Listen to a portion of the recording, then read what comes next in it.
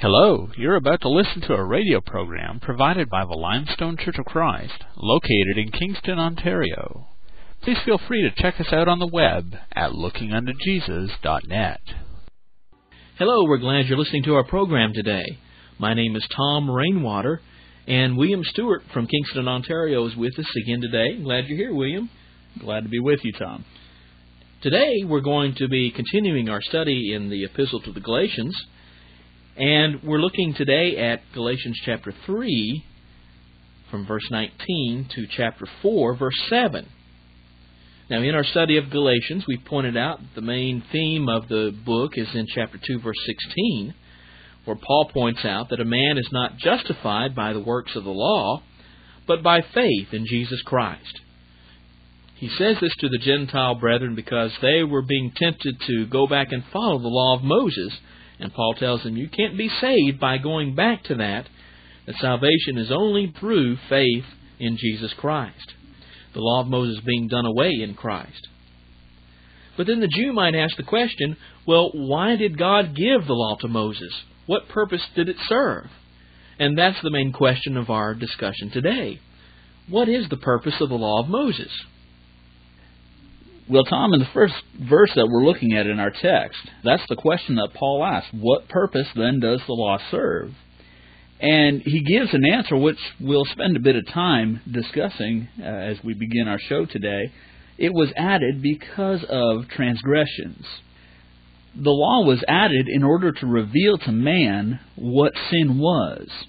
In Romans chapter 7 and uh, in verse 7, the Apostle Paul said, I would not have known sin except through the law, for I would not have known covetousness unless the law had said, You shall not covet. In Exodus chapter 20, the giving of the law of Moses, there are several thou shalt nots.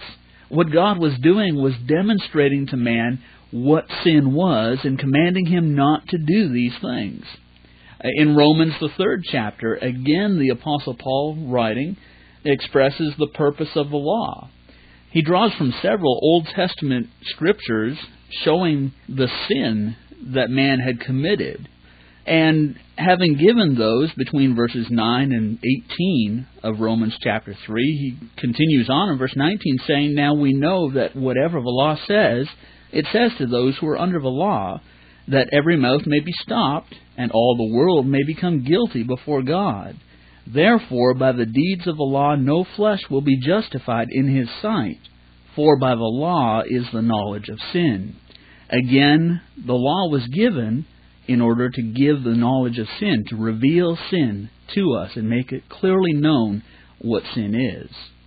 That's right, William. And having shown the Israelites what sin was, the content of the law was also to encourage them to restrain from sin.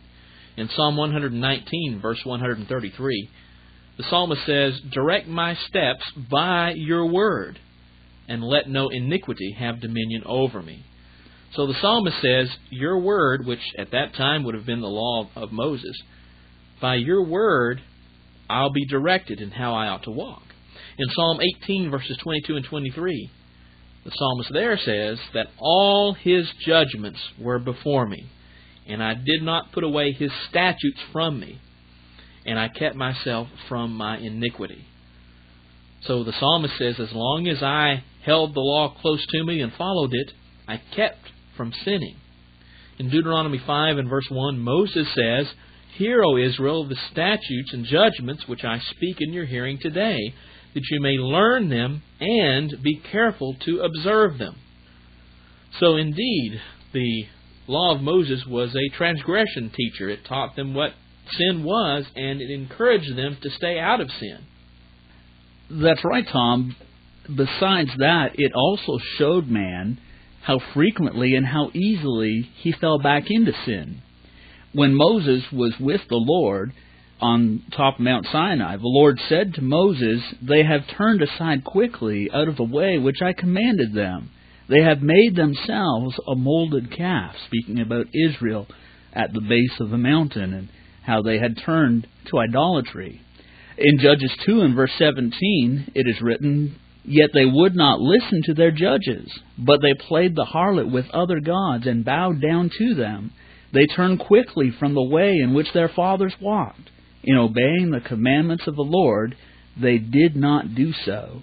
And so the law taught man that he frequently and easily would fall back into sin. And William, also the law of Moses showed them that when they did sin, they were separated from God. Because in the law and the prophets it says in Isaiah 59 and verse 2, But your iniquities have separated you from your God, and your sins have hidden his face from you so that he will not hear. So very serious consequences to sin, being separated from God. In Deuteronomy chapter 28 and verse 58, it says, If you do not carefully observe all the words of this law that are written in this book, that you may fear this glorious and awesome name, the Lord your God. So indeed, if they didn't keep the law, they had reason to fear God. They were cut off from Him. That's right, Tom. Even further to that, it taught man that sin demanded atonement, that there was a cost involved to their sin and that a blood sacrifice would be required. In Leviticus 17 and verse 11, it reads, For the life of the flesh is in the blood, and I have given it to you upon the altar to make atonement for your souls. For it is the blood that makes atonement for your souls. In Hebrews chapter 9 and verse 22, we read, And according to the law, almost all things are purged with blood and without shedding of blood there is no remission. And therefore the law taught this necessity for a blood sacrifice, for atonement to be made. And so you see how important the law of Moses was in teaching the people about sin and the consequences of sin and the need for an atonement. The law of Moses itself was never intended to be a solution to sin. In Romans 7, verse 10, Paul says, And the commandment, speaking of the, the law of Moses, which was to bring life, I found to bring death. In Hebrews chapter 10, where it talks about the sacrifices that were done under the law of Moses, it says that uh, with those animal sacrifices, there was a reminder of sins every year, for it is not possible that the blood of bulls and goats could take away sins. So, the law of Moses had a job to teach, but not to save. Something else would have to do that. Tom, as we again look at verse 19, he says that it was added because of transgressions till the seed should come to whom the promise was made. Notice that word till in the text. The, the law had a job to do. It was added because of transgression. He gives us a time frame for it. He, he tells us that it was a temporary thing till the seed should come. Now, we dealt last week with the seed in verse 16, that Abraham and his seed received the promises, and he doesn't say seeds as of many, but as of one, to your seed, who is Christ. And so when the Christ would come, that would signify the end of the law. Notice in Colossians 2 and verse 14, we're told of Christ that he has wiped out the handwriting of requirements that was against us which was contrary to us, and he has taken it out of the way, having nailed it to the cross. Exactly right, William. That passage in Colossians clearly says that when Christ died on the cross, the law of Moses was no longer in effect. He nailed it to the cross. Its job was completed. And uh, another thing about it that Paul points out in the last part of verse 19 is that, and it was appointed through angels by the hand of a mediator. And he says in verse 20, Now a mediator does not mediate for one only, but God is one. I think the point that Paul is trying to make here is that the law of Moses itself was given to the people through mediators. We know that God gave the law to the Israelites through the direction of angels. Uh, Moses certainly was the one who revealed that law to the people. But when you compare that to the promise to Abraham, the promise to Abraham was given directly to Abraham by God. There was no mediator there whatsoever. And I think Paul is simply showing the superiority of the promise over the law. And so in verse 21, I think Paul raises a question that a Jew might have at this point that is the law then against the promises of God? a Jew understanding what we've looked at so far might think, well, you're saying that the law and the promise are competing against one another, that they're against one another. Well, William, was that the case? Well, Tom, the, the apostle says certainly not. And he goes on to say, For if there had been a law given which could have given life, truly righteousness would have been by the law. The fact is that righteousness could not come by the law because that would require the perfect keeping of the law.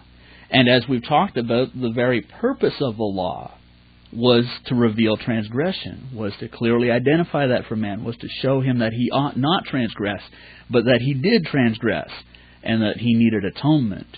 And so the law was not against the promise.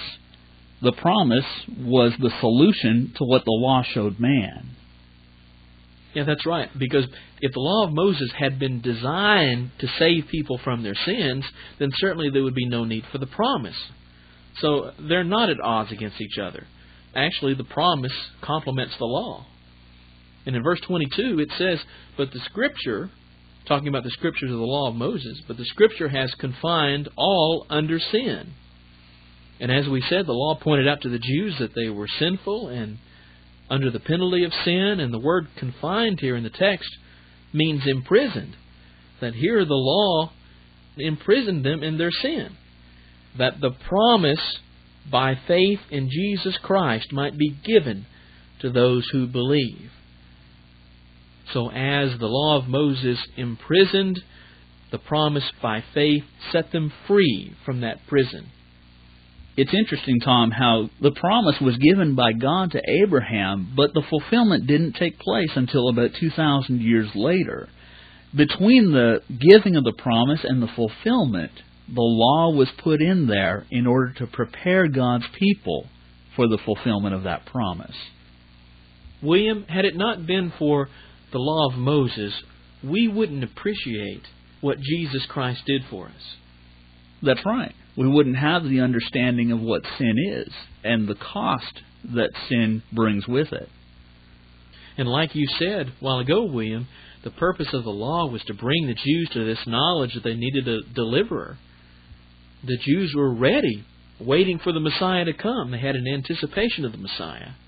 There were Jews who were waiting in Jerusalem, like Anna and Simeon, who were waiting on the redemption of Israel. They understood the promises about the Messiah. They knew the law itself wasn't sufficient. There had to be someone who would come to save them. And so in verse 24 of our text here in Galatians 3, Paul says, Therefore, the law was our tutor to bring us to Christ, that we might be justified by faith. The law had this purpose. Now, it says the law was our tutor. The Old King James says schoolmaster. And back in those days, it was common among the Romans for them to have a guide or a custodian for their children.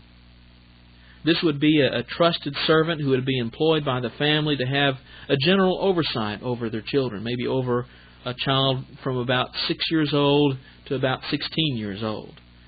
And this schoolmaster or tutor would escort the children to school. It would be the child's disciplinarian, a guardian against bad influences.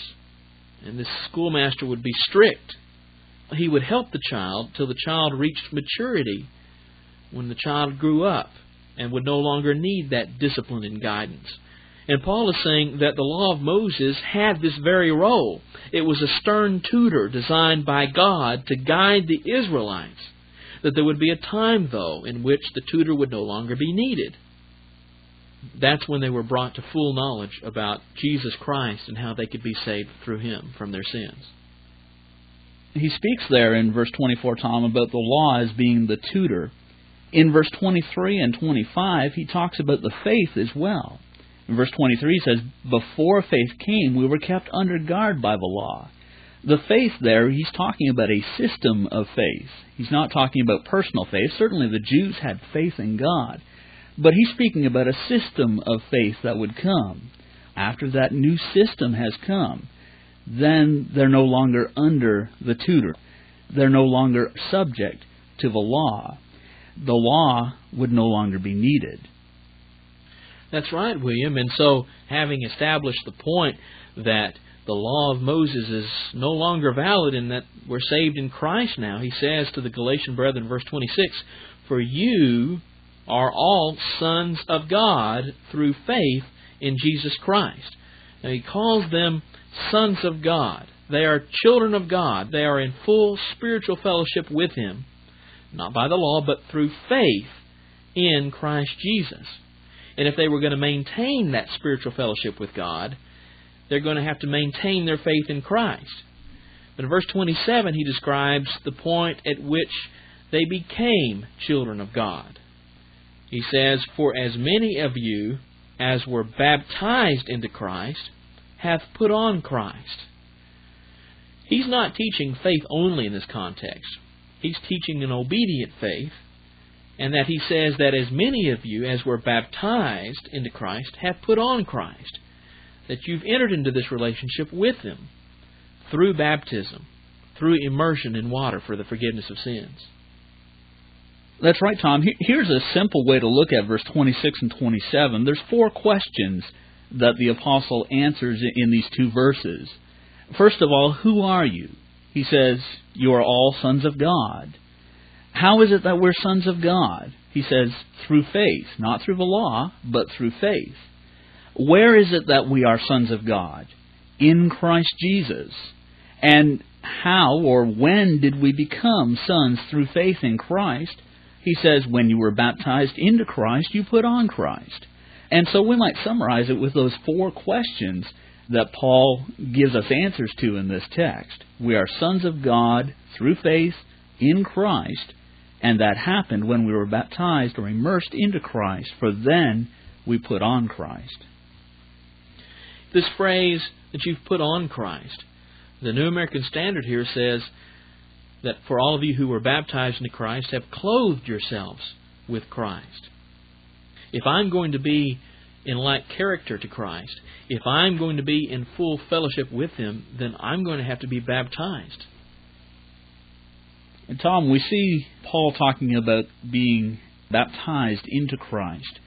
The phrase into Christ appears twice in Scripture in this text where he talks about us being baptized into Christ, and in Romans chapter 6 and verse 3 where also he talks about us being baptized into Christ. That is the only way we can get into Christ. If we've not been baptized into Christ, then that means we're outside of Christ. Yeah, that's right, William. And I think as we look at the text, we definitely see that baptism is part of that system of salvation by faith in Christ.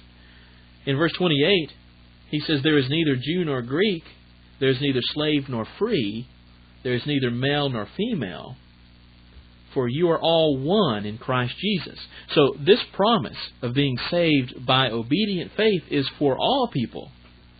Race or birthright has nothing to do with salvation being slave or free. Your social standing has nothing to do with your salvation. Or what sex you are, male or female, has nothing to do with your salvation. Your obedience through faith has everything to do with it. And anyone on the planet who obeys the Lord is one together in Christ Jesus. And Tom, that brings us to the close of this chapter, verse 29. The apostle writes, And if you are Christ, then you are Abraham's seed, and heirs according to the promise. And so he tells us if we are Christ, if we belong to him, then we're Abraham's seed. That's right. If you follow the example of Abraham through faith, you are his seed and heirs according to that wonderful promise given to Abraham in the book of Genesis. And so he's telling the Galatian brethren they can have confidence in their salvation as long as they continue in faith. Paul continues in chapter 4. He begins another illustration, and here he talks about a child and a servant.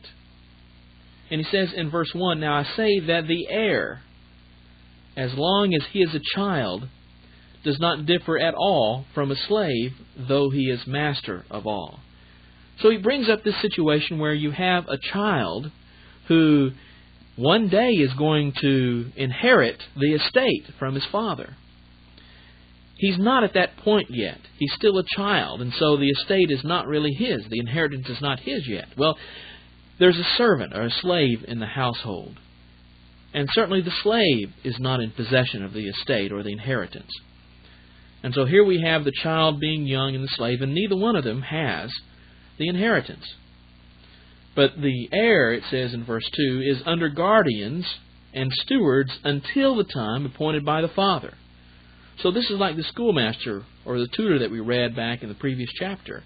Here is this child put under this guardianship by these instructors, and it's the father's will that the son be instructed in this way, but only for a certain time. The child's going to grow up, the heir is going to grow up. And when he grows up, then he can acquire the estate. But it's only until a time appointed by his father. In essence, in this illustration, Paul is comparing the heir to the Jews. That they, at some point, were expected by their father, by God, to receive the inheritance, but only after they've been instructed and tutored by the law of Moses. So God expected them to acquire the estate after they learned the truth. And this would be the truth about their sin, and they needed the Messiah to save them. That's right, Tom. And we continue in verse 3. It says, Even so, we, when we were children, were in bondage under the elements of the world. But when the fullness of time had come, God sent forth His Son, born of a woman, born under the law, to redeem those who were under the law, that we might receive the adoption as sons. And he says they were under bondage. But the fullness of time had come. We talked about that back in verse 19, till the seed should come. We talked about that in verse 2, until the time appointed by the Father. And so when the fullness of time had come, God sent forth his Son, born of a woman, born under the law. Now, he tells us that he was born under the law. Jesus, born under that law, kept that law perfectly. We've said previous that the law taught man about sin and it revealed how we so easily would fall into sin. Jesus is the one exception. Jesus is the one who kept that law perfectly in order that he might be the sacrifice, the Lamb of God, whereby we might have salvation. He was sent, as verse 5 says, to redeem those who were under the law, in order that we might receive the adoption as sons. William, this is a wonderful thing about this that God provided salvation not only to the Jews who would come to this faith in Christ, but also the Gentiles. The slave in the illustration is the Gentile. And a slave in a household is not going to receive the inheritance unless the slave is adopted as a child. And that's what God has done for the Gentiles included them in the promise. And thus, it doesn't matter whether you're Jew or Gentile, whether you're heir or slave, all are under sin, and Christ is the only one that can save you. And thus, when you obey, you become a child, a true child of God. And he says in verse 6 And because you are sons, God has sent forth the Spirit of His Son into your hearts, crying out, Abba, Father. And so he says, And because you are indeed sons of God through faith and obedience in Christ, you can know in your heart fully that you are truly a son. You can have an attitude of sonship and be like a son. Tom, that phrase that he uses that we cry out, Abba, Father, is a really neat phrase. Abba means father, and so essentially it is Father, Father. The word Abba comes from the Aramaic, and the Jews would use that in their prayers along with their word for father. But the nature of the word Abba is very simple. If we look at it, Abba is very much like words that young children will use. When a young child first speaks of their father, they'll say Dada, or they'll say Papa, or something of that nature. And in every nationality, there's this simple word which is formed by the mouth of infants to speak about their father. A word of security, a word uh, of complete trust. And that may be what this is conveying to us of our relationship to God and the Gentiles specifically who did not have that relationship. Paul is saying you can have that closeness the spirit that the Son has. Just an amazing word. Right. It, it would be a term that would be a term of endearment. It would describe family love. When you talk about slaves in a household, they were not permitted to address their masters as Abba. That was a no no. But in Christ, we're no longer a slave. We're no longer a slave of sin. We are a child. We are a son of God. And he says in verse 7 Therefore, you are no longer a slave, but a son. And if a son, then an heir of God through Christ. So, since you have the full rights of sonship, you have the full rights to inheritance. Now, at the end of the program, let's summarize what we've learned from the text. Number one, the purpose of Moses' law was to teach man about sin, its consequences, and the need for a blood sacrifice to atone for sin. Number two, Jesus Christ came to be that atonement, to sacrifice himself for our sins, in fulfillment of God's promise to Abraham. Number three, because of what Jesus did on the cross, all people can be saved through faith in him and by being baptized into him. If we do that, then we are sons of God. We're also Abraham's seed and heirs of the promise. We hope you've enjoyed our program today. Have a great day.